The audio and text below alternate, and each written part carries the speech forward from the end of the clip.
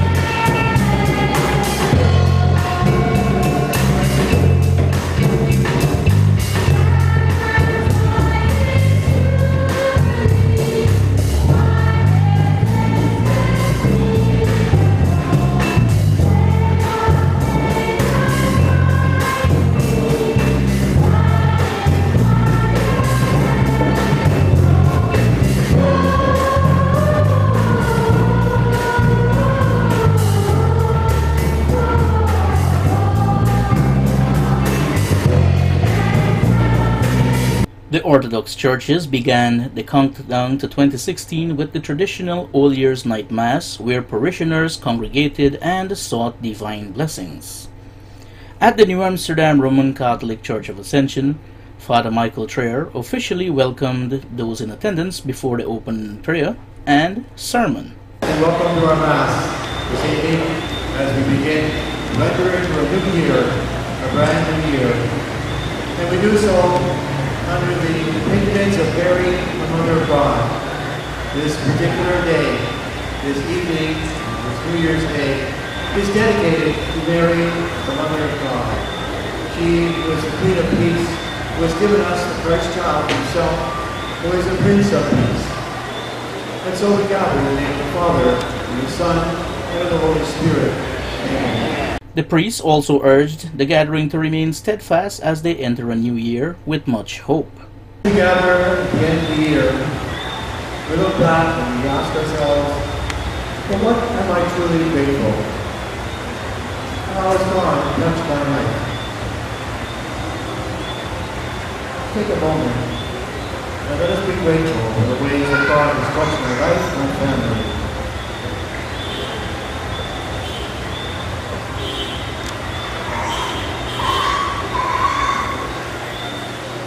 And now let us take a moment and ask ourselves the question, where have I failed to respond to God or to my neighbor or to my family as God teaches me? Over at the All Saints Anglican Church, Father Garfield Devalier delivered stirring remarks to the congregation. For many of us, we are living by ourselves. We forget that God gives us what we have achieved in this life.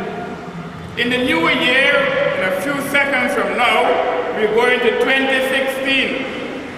And I hope and pray that God will continue to work miracles in each and every one of us so we can do His will all the time and every time. For most of us, the work of the church is the priest. For most of us, the work of the church is the vestry. For most of us, the work of the church the lay ministers. Brothers and sisters, what is your role and function in the church? The greatest commandment reminds us, love the Lord your God with all your heart, with all your soul, with all your strength, with all your mind, and love your neighbor as you love yourself. Father Devalier then encouraged the parishioners to exercise faith and embrace the meaning of brotherhood. The light shines in the darkness, and the darkness did not overcome it. There was a man sent from God whose name was John. He came as a witness to testify to the light, so that all might believe through him. He himself was not the light, but he came to testify to the light The true light which enlightens everyone coming into the world. He was in the world, and the world came through him, yet the world did not know him. He came to his own, and his own people did not receive him. But they did not receive him, he gave them the power to become children of God. It is the hope of everyone that the new year will bring peace, prosperity, and more unity among each other. If you really have love for somebody, you're going to help them in good times and in bad times. Michael Kahn, Channel 8 News.